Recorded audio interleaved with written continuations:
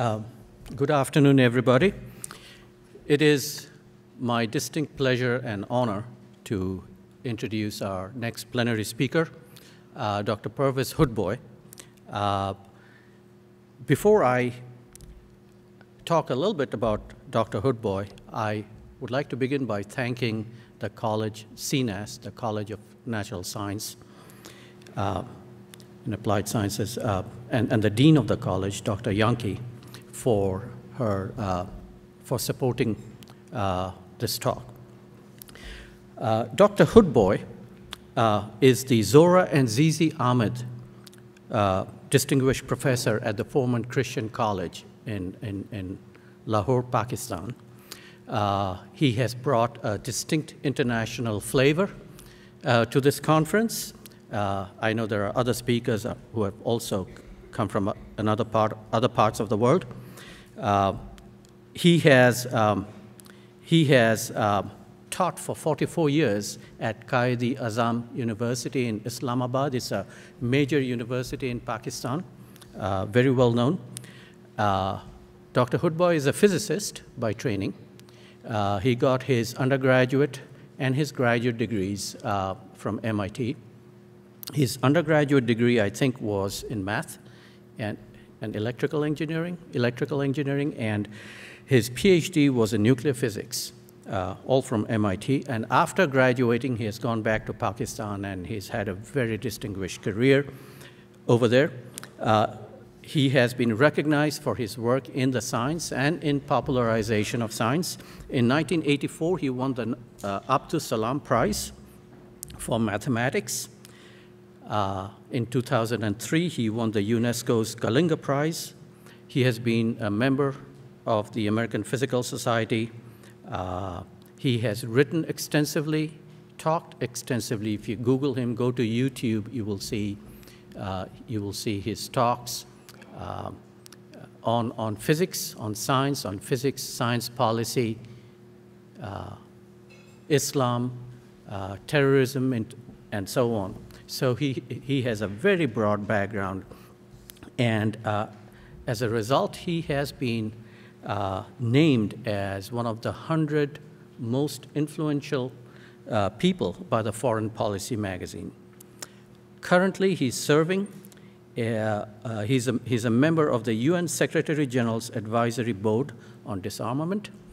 And uh, without much further ado, I would like please uh, give a warm bear welcome to Dr. Pervez Hoodbhoy, and I'm going to turn over this mic to him.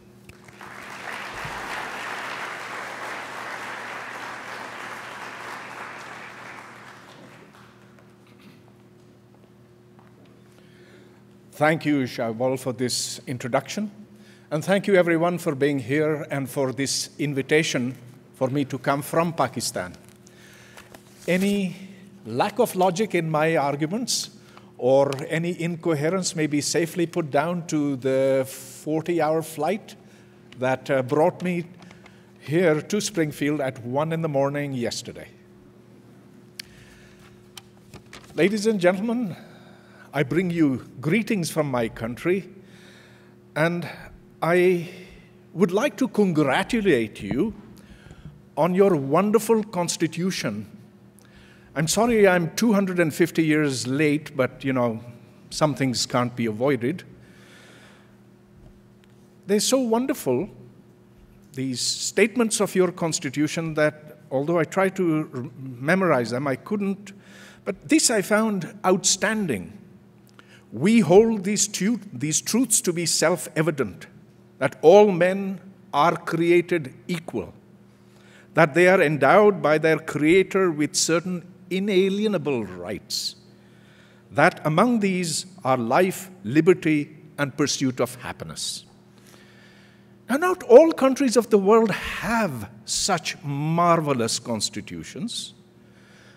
There are countries which include mine, that explicitly discriminate between their citizens on the basis of their faith, perhaps their ethnicity as well. Pakistan does not hold all its citizens to be equal. Iran is a country that is run by a Shia clergy. It's called the guardianship of the of the faqih, of the of the righteous, of the learned. Saudi Arabia does not allow for any religion other than Islam to propagate itself on its soil.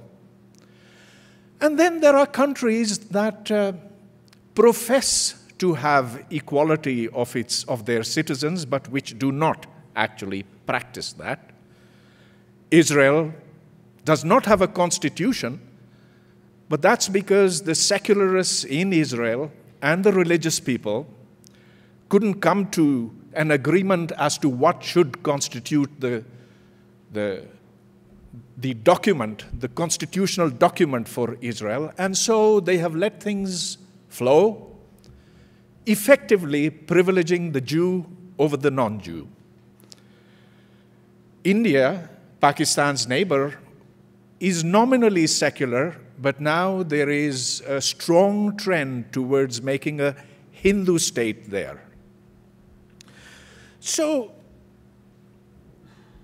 it is really excellent that you have a constitution that says that it's a self evident truth that we're all equal.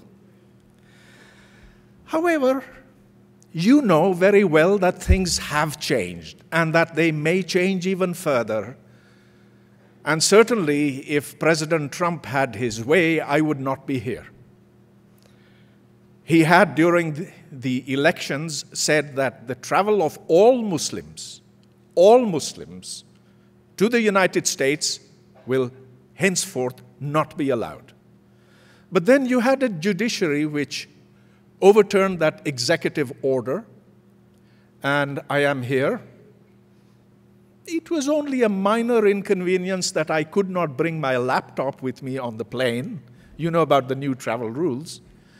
But look, that's the, that's the sort of trend that we are seeing in the United States, but not just the United States. You're seeing this in Europe with Marie Le Pen in France and Geert Wilders in the Netherlands. And you're seeing this reflected in country after country. Certainly in Europe, but also elsewhere. Now that's a little sad. Because humanity had made enormous gains at the time of the European Enlightenment. In fact, the authors of your Constitution were men like Thomas Jefferson and Franklin and Benjamin Franklin, the guy who flew the kite in the storm. And they were inspired by men like Rousseau, like uh, Diderot, and they brought to the United States these wonderful ideas of equality, of fraternity, the, the ideals of the French Revolution, the ideals of the Enlightenment. Somehow that's going away. And it's going away all over the world. And we better understand it because things will get worse if we do not understand where that is coming from. Could this be because of terrorism? Now, terrorism is an awful thing. Terrorism is there to terrify us. And, ladies and gentlemen, you all read about the horrors that have been inflicted. Well, there was 9 11, but then there have been smaller incidents after that in the United States. In Europe as well, this guy driving a truck in, on a beach city in France, and then very recently, what happened on the rivers, River Thames. But you read about this and probably do not see it from very close. Let's put things in perspective the United States might have lost um, a total of maybe 3,000 or 3,500 people since uh, the beginning of this century. 9 11 was 2,500 people, something like that. But all in all, Europe and the United States is not more than 3,000 people, or three and a half, I'm not sure. But Pakistan has lost 60,000 people in the last 10 years alone. And I have, to my great sorrow, lost people, friends, colleagues. In particular, I cannot forget that night when I heard a gunshot from my neighbor's house. I rushed over there with my 11 year old daughter running behind me and I found my neighbor lying in a pool of blood with a bullet through his neck, one through his heart. I put him in my car. He died in my car. The blood stains took a long time to go away. And then, year before last, I lost a very dear friend. She was in Karachi. I live in Islamabad, by the way, and Lahore, but she was in Karachi the last time that I saw her was when we were together protesting against the head of the Red Mosque in Islamabad. We don't know why she was targeted, but she was somebody who believed that Valentine's Day should be celebrated. And eventually they found the people who had killed her, assassinated her, and this is what they said. Valentine's Day, protesting against the clergy. And such people, they said, should not live in Pakistan. There's a more recent incident which I really can't discuss, talk about publicly over here. Having said all this, and having told you how close and personal it has become, let me also say that terrorism is not an ex existential threat for humanity. Yes, lots of people have been killed, but unless terrorists manage to get their hands upon nuclear weapons, it's going to be something bad, but it's not something that's going to cause the world to collapse, and it's not really the reason why so much of the world is stepping back from those ideas of the Enlightenment and from liberal thought. So then, it behooves us to try and understand what is changing the United States, Europe, and in fact, other parts of the world as well? Well, first, let me tell you what has changed my part of the world. Because you see, as we look for the origins of terrorism, we have to see that the, that the reasons are different in different places, but that there is also a commonality and that if one is to apportion guilt, then in fact, we are all at different levels guilty. So let me begin by telling you how terrorism came to my country and how extremism became the order of the day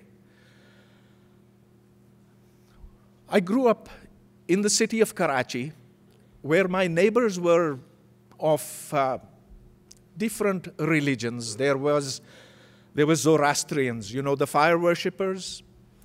There were Christians, and we'd get along. And there was also occasionally a Hindu, but not very many Hindus were left because at the time of partition in 1947, the Hindus had migrated to India. It was a it was a terrible period of history. Perhaps the biggest bloodshed in modern times occurred at that time in 1947. But after partition, and I was born three years after partition, things were, well, more or less normal. So we had neighbors who were friends, although they were Christians, although they were Zoroastrians, Parsis, and there was even a Sikh over there. But then this started changing, and today, in my neighborhood in Karachi, where my 93 year old mother still lives, there is not a single person who is not a Muslim. They've all gone, they've migrated, they're, it's become a different city, it's become a different country, and this is the country that has now suffered because of extremism, which has led to terrorism, tens of thousands of people dead. Well, how did it come about? This was 1979 when the Soviet Union invaded Afghanistan. And this is the time when three countries, Pakistan, Saudi Arabia, and the United States, joined up together to create the first global jihad of history. The Soviets were characterized as belonging to the evil empire. They were evil, evil in a religious sense, not just invaders. And so Ronald Reagan, President Ronald Reagan, ordered the most massive covert operation in the United States history. It required the arming and the training of Islamic warriors from distant parts of the world, from Saudi Arabia, Egypt, Algeria, the Central Asian countries, and of course Pakistan. And it was a brilliantly executed plan. They used the madrasas in Pakistan as the training ground and the ideological school where the godless Soviets had to be fought because this was to be a holy war. A holy war, mind you. And so the University of Nebraska here prepared textbooks, of which I have copies and you can find on the internet, where they would, in the, in the Pashto language, they would uh, pose questions to third graders and fourth graders if a communist, and this is in the math syllabus, if a communist is 300 meters away from you and a bullet flies at this speed, how long before it gets to his head? Etc.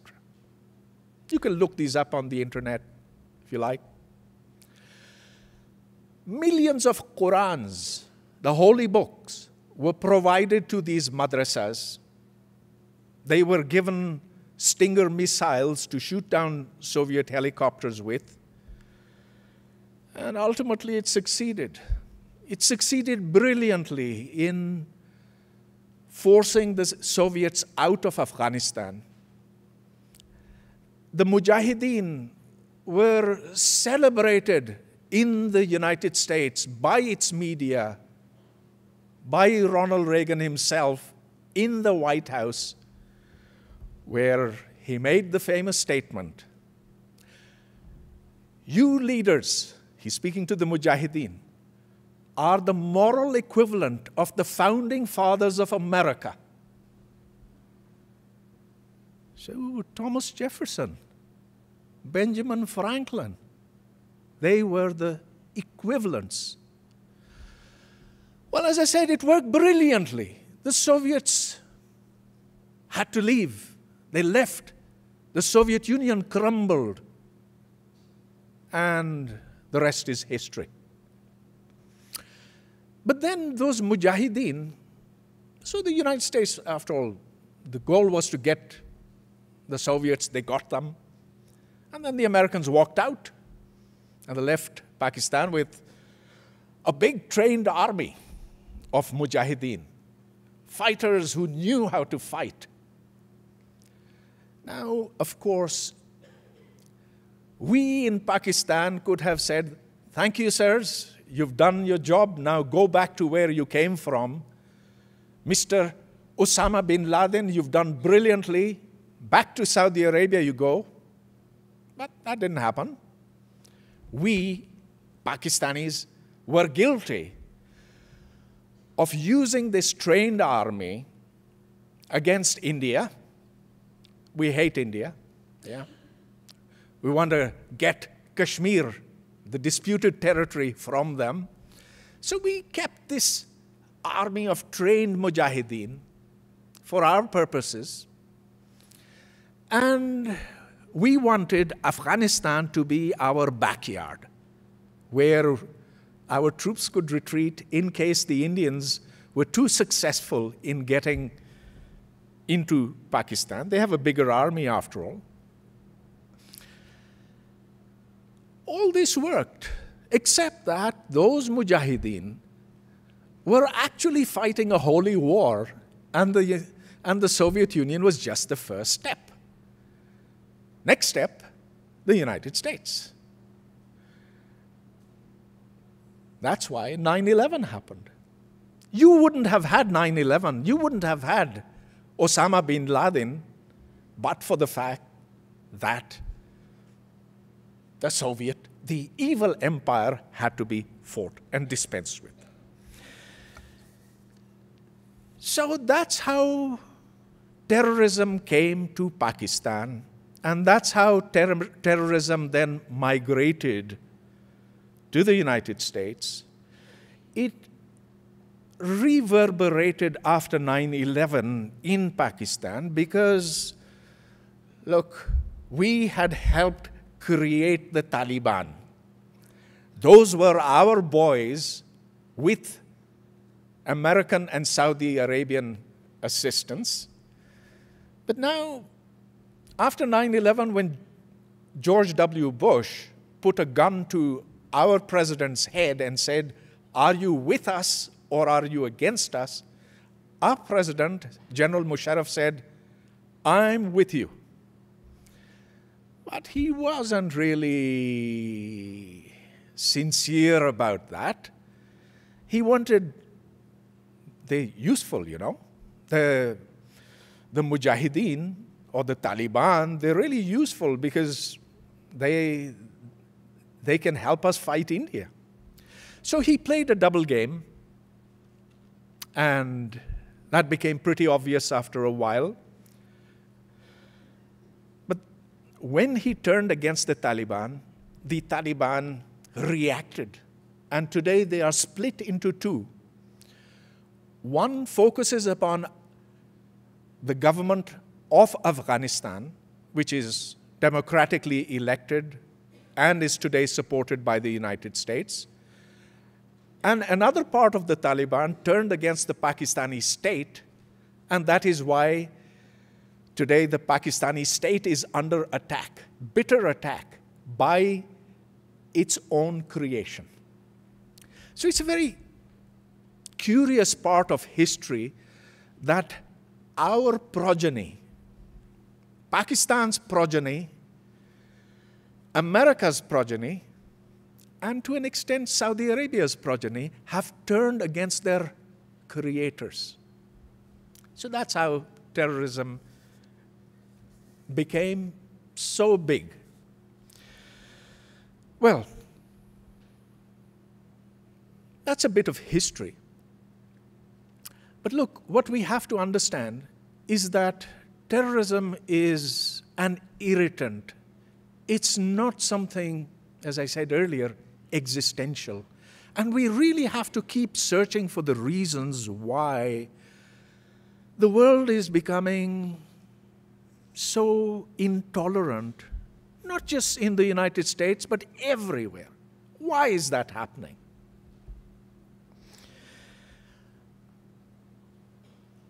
I, and here, you know, I'm, I'm looking forward for a dialogue with you because I don't understand it perfectly myself.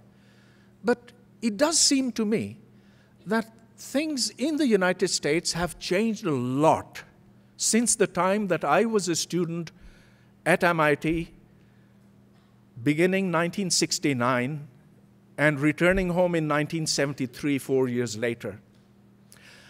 I see the difference between the rich and the poor in America being far greater than it used to be.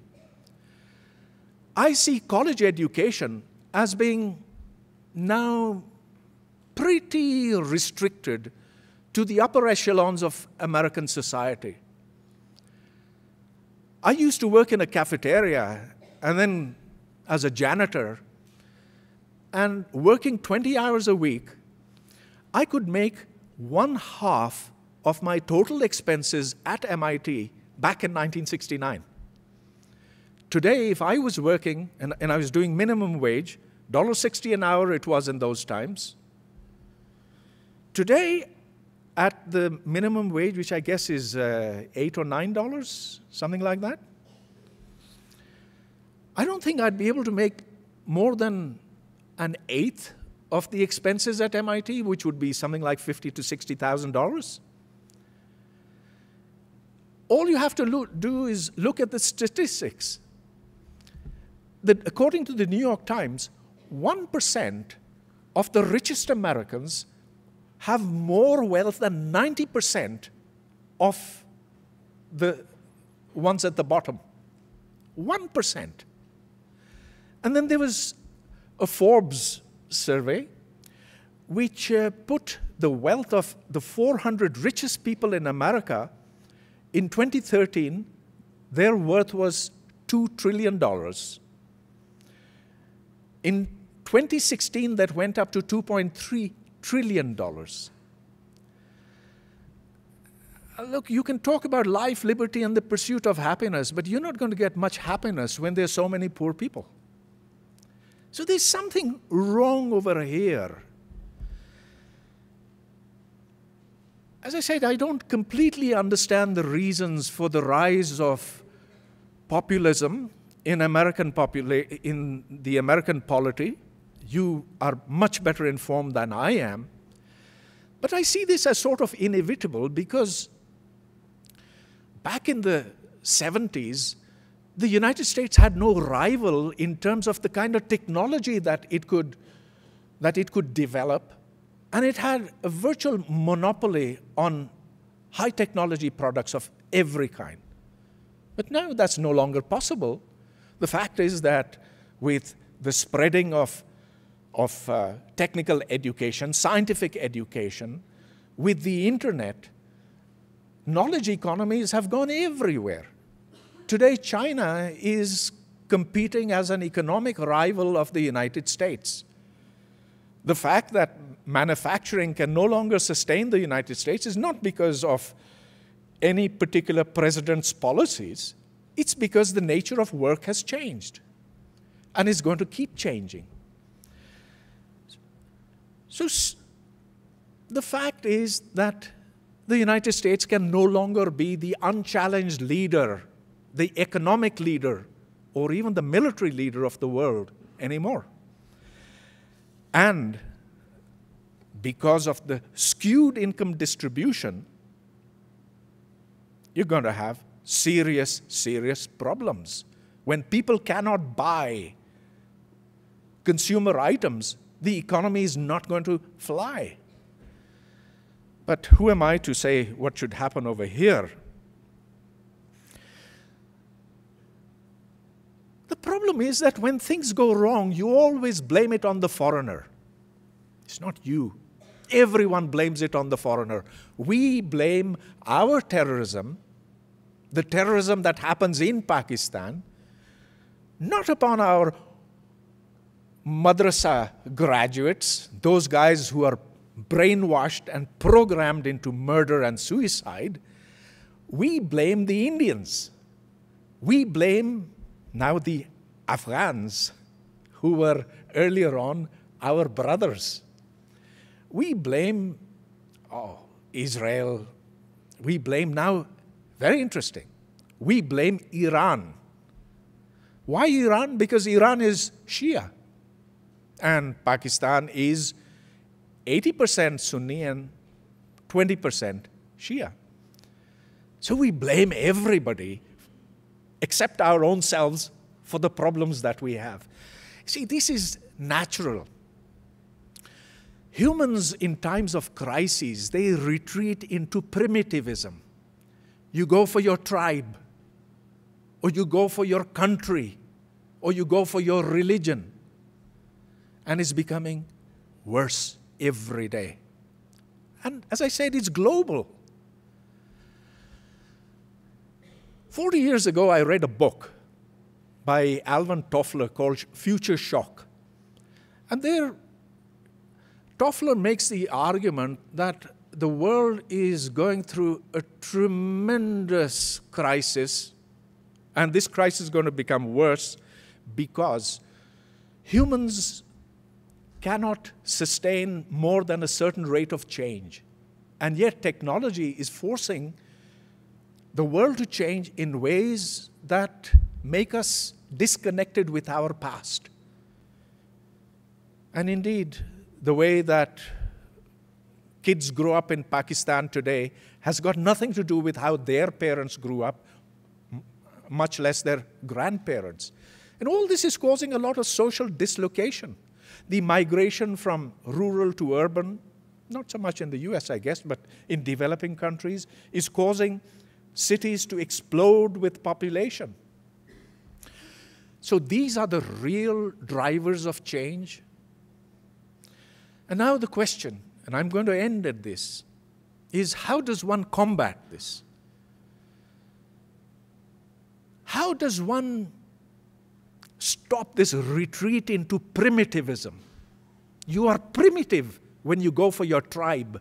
You are primitive when you go for your country. You are primitive when you go for your religion. That's what the Enlightenment said. The Enlightenment was all about we are all created equal. So, how does one stop that?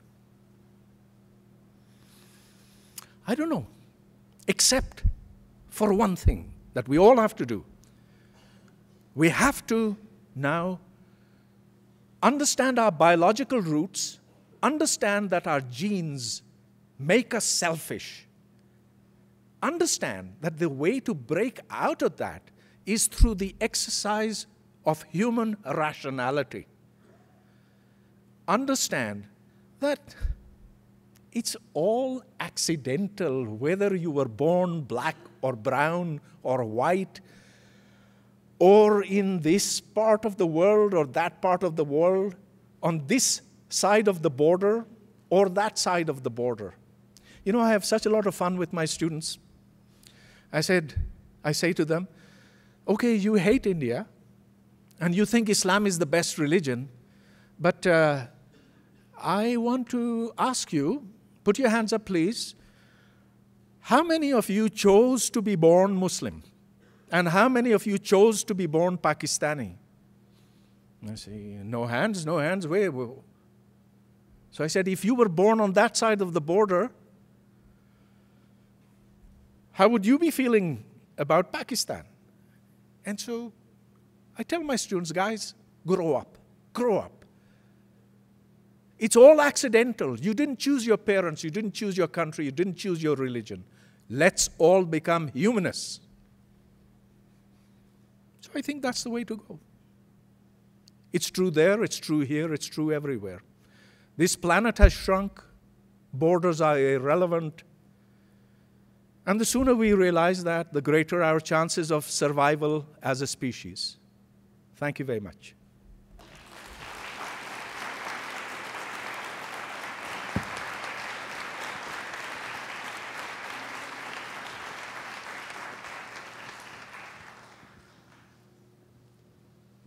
We are going to, we are going to open uh, the floor to questions. Do we have microphones? There's one over there. Is there one on that side? So we have two microphones over here. So if you have a question, uh, please raise your hand and we'll have someone go. Questions?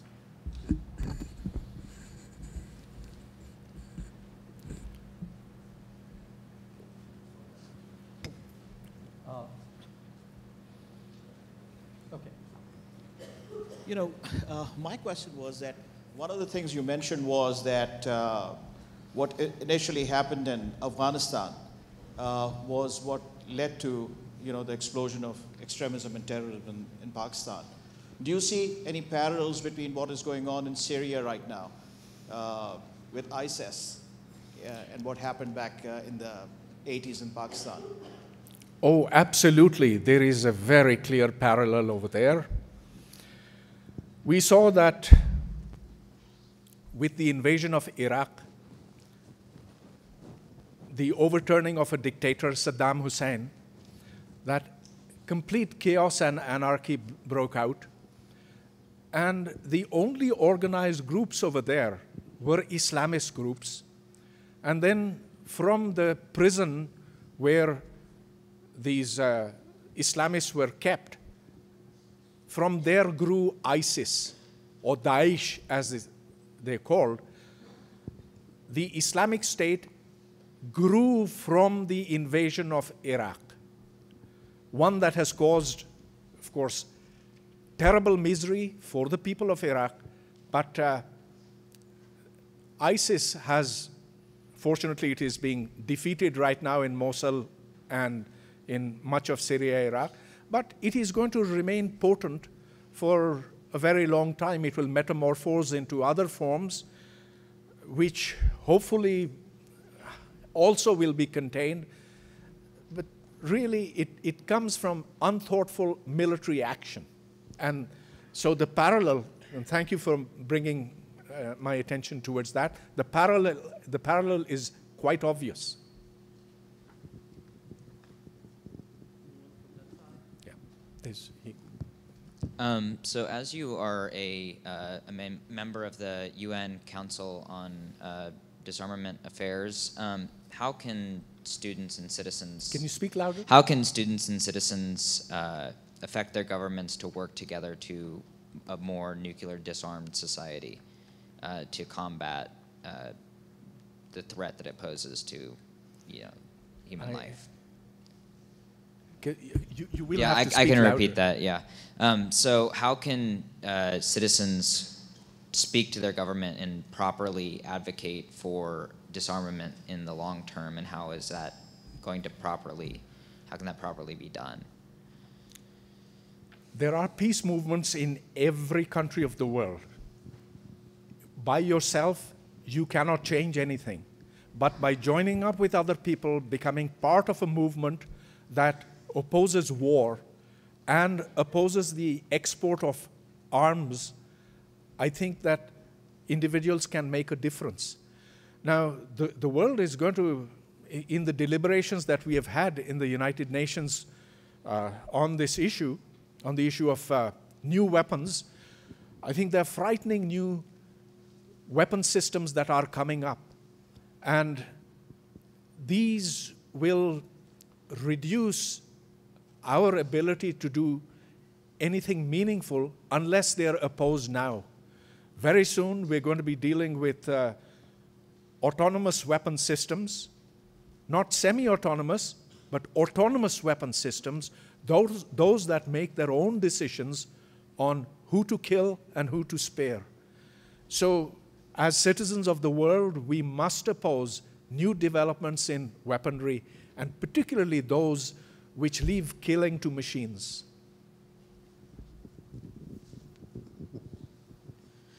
You talked about terrorism. How do you see the end of the terrorism? And you also talked about um, men not being treated equal in certain part of the world. How do you, how do we find a solution to that? The terrorism is of two kinds. It is that which is perpetrated by organized groups and that which is perpetrated by disconnected individuals. Like, uh, for example, what happened just a few days ago on uh, the London Bridge, or Westminster, uh, on the River Thames. I don't think there's very much you can do about that. You cannot know in advance that a particular individual has gone haywire, has an intent to kill, I guess the lethality can be controlled by not allowing that individual or individuals to have access to guns. But beyond that, I don't think there's much that can be done about individual acts of terrorism. They will continue to occur, however much we don't want that to happen. But in terms of organized groups, and among organized groups today, I think the most lethal is the Islamic State, Taliban, Boko Haram, Al Shabaab, and so forth. There, it needs a national effort and one in which one must use all techniques that, that are discriminate, that do not have collateral damage or effects. And these groups must be destroyed. Their sources of funding must be tracked down. Their leaders should be killed. And I do not believe there is a point in negotiating with them. At the same time, we have to be very careful that there should not be the killing of innocents.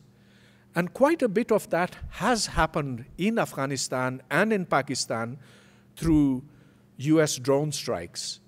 Now, it's, I, I, don't mean to open that up over here because it's a complex issue. I do believe that certain kinds of drone strikes are justified. I am extremely unpopular for having said that. But I do not believe that signature strikes should be sanctioned. Signature strikes are that, uh, oh, you see um, bearded guys getting into a pickup truck with weapons. That's not good enough because that's, there are lots of bearded guys in that part of the world, and lots of people carry guns. Um, so it has to be much more specific, much more directed, because collateral damage, collateral killings, then lead to a dynamic of their own, causing more terrorism rather than less.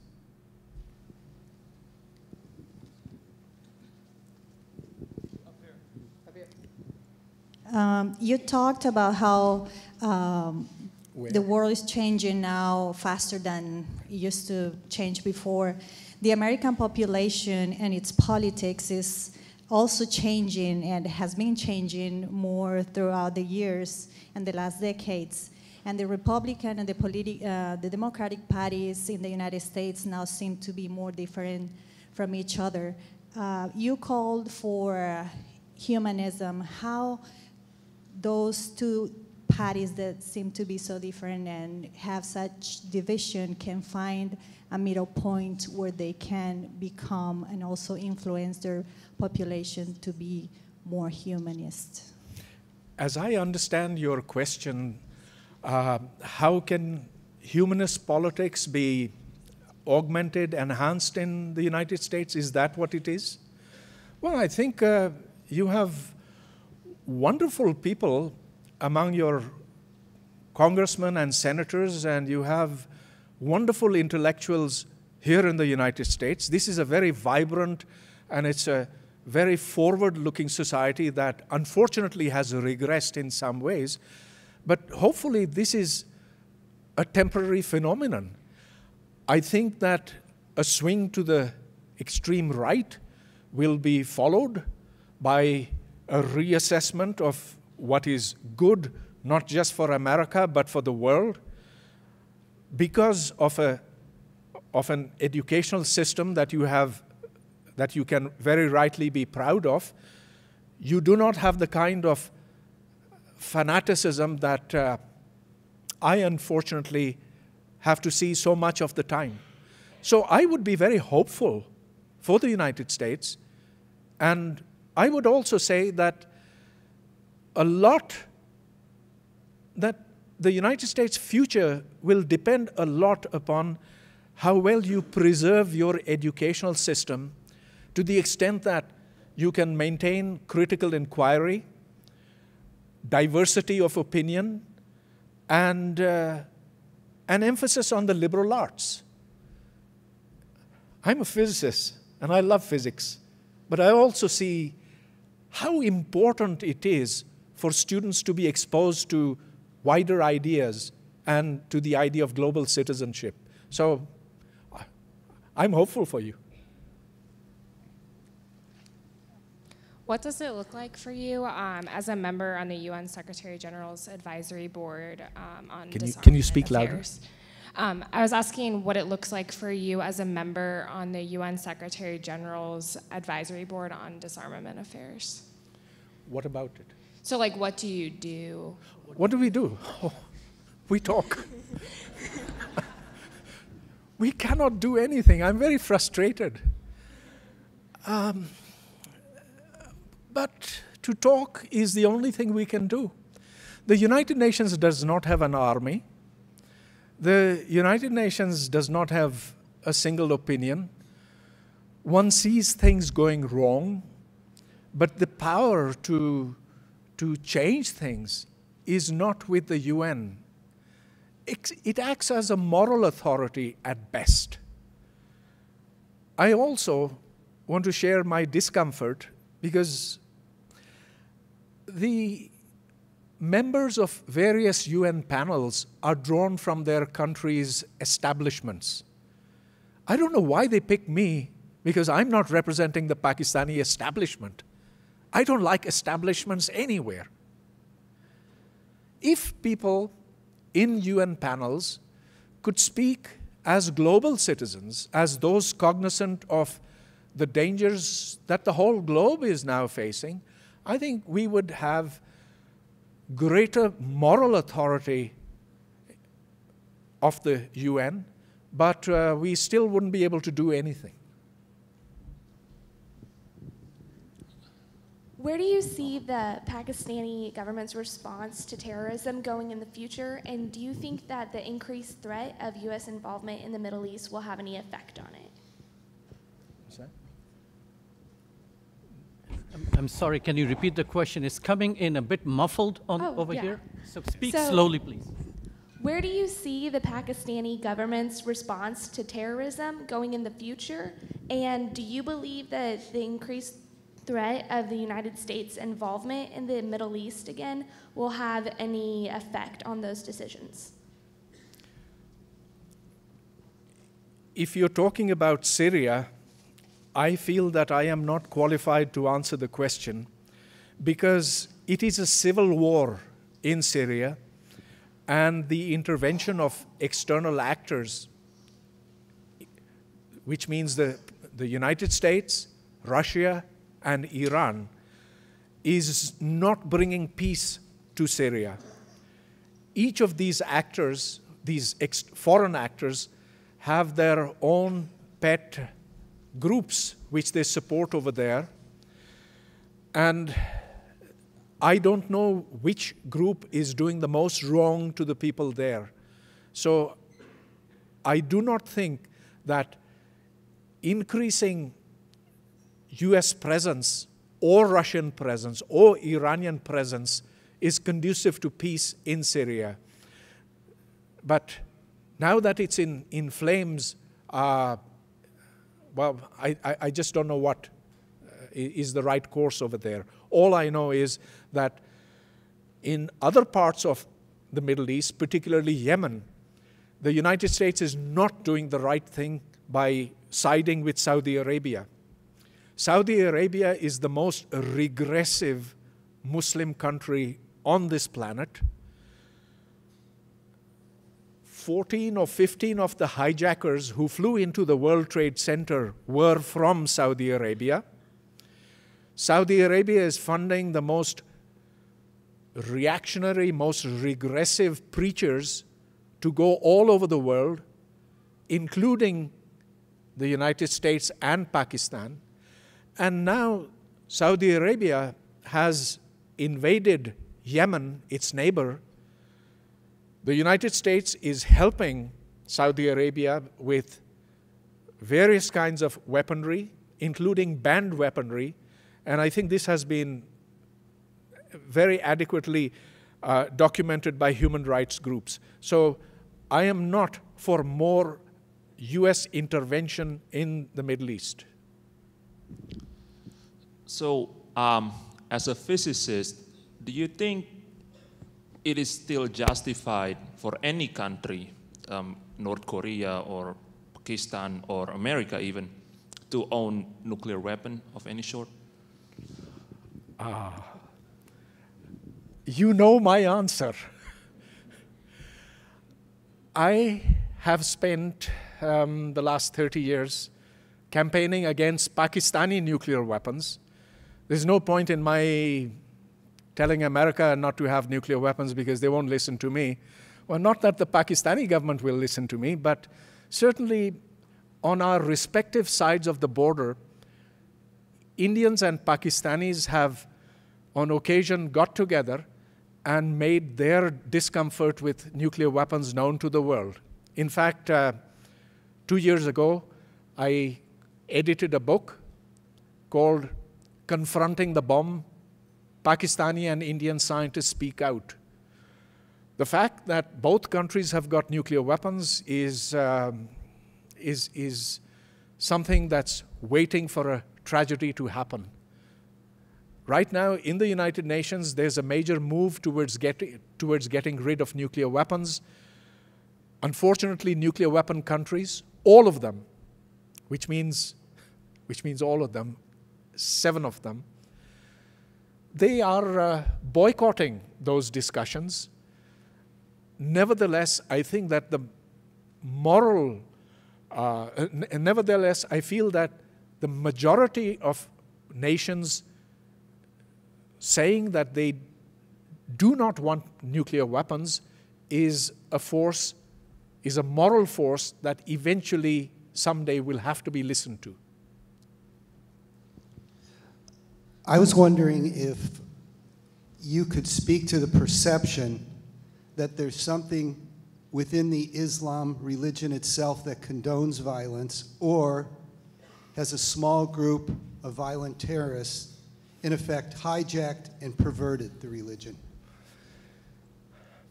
I do not believe it is a small group, and yet I do not believe also that the majority of Muslims sanction terrorism.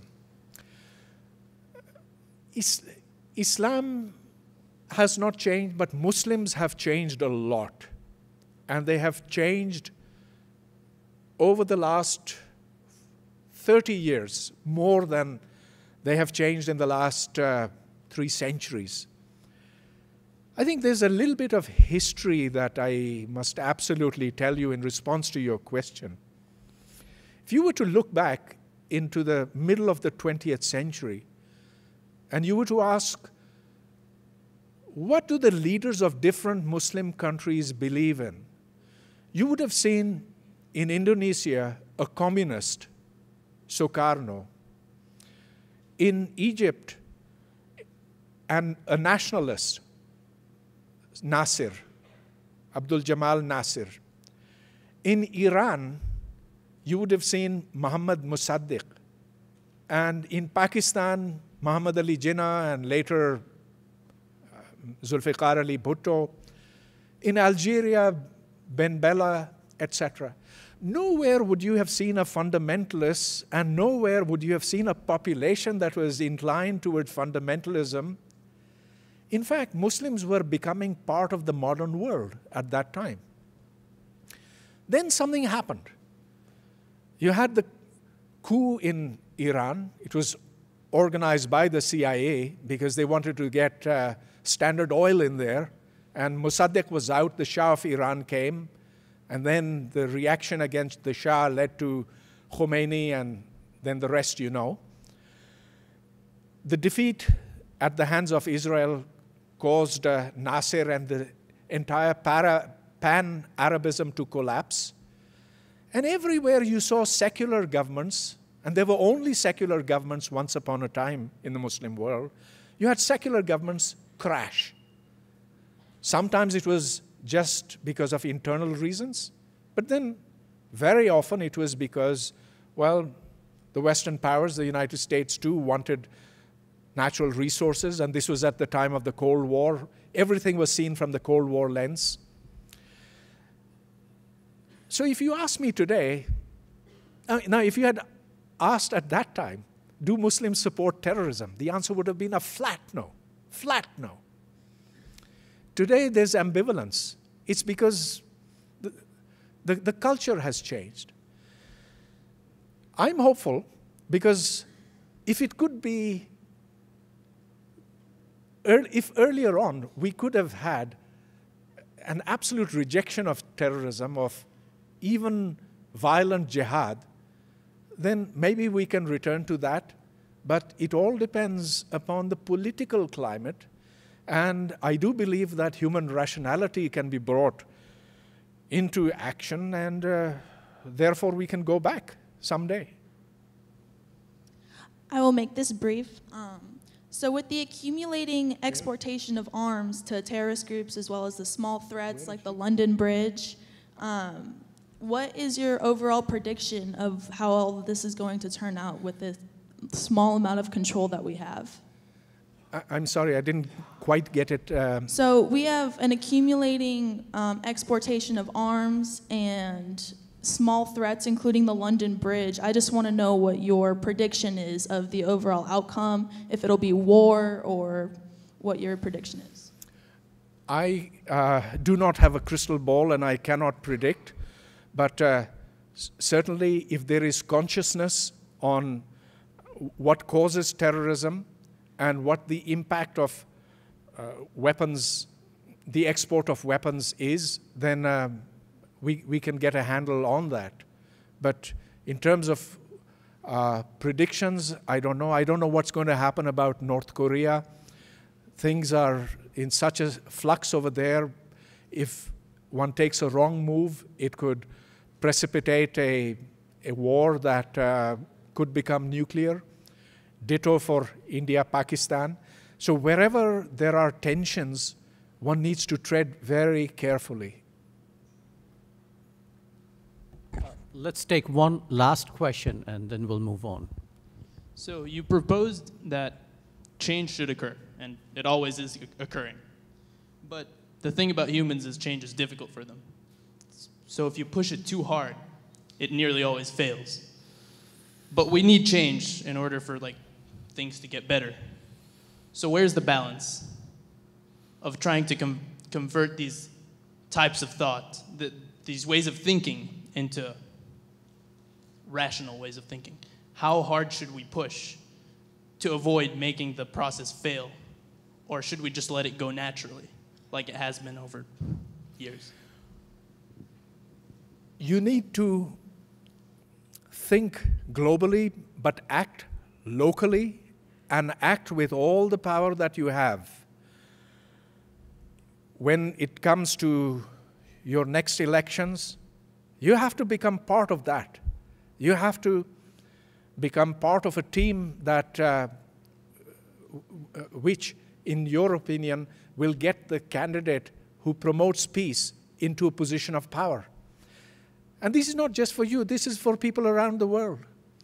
We all have to act looking at our particular circumstances, and they're different for different people, they're different for different countries. But the goal has to be one. The goal has to be a world that is cognizant of the smallness of the planet, and that means a lot. It means climate change, which is certainly happening. It means avoidance of war. It means settlement of disputes in a manner which is just. It means controlling terrorism and acting in ways so that uh, they're without restricting personal freedoms too much, Yet terrorism cannot be allowed to, to become a major threat. So there are lots of things for us to do. And it's different for different peoples. It's, but you got to push hard. You got to push as hard as you possibly can. Let us thank uh, Professor Hoodbhoy one more time.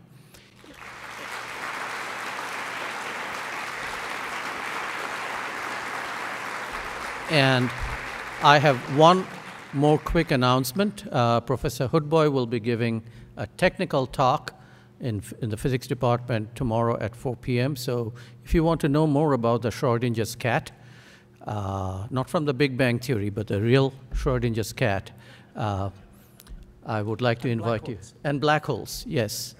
Uh, and and uh, I, would, I would like to invite you uh, for that seminar. Uh, the, the seminar would be in Kemper, room 206 at 4 o'clock tomorrow. And thank you very much.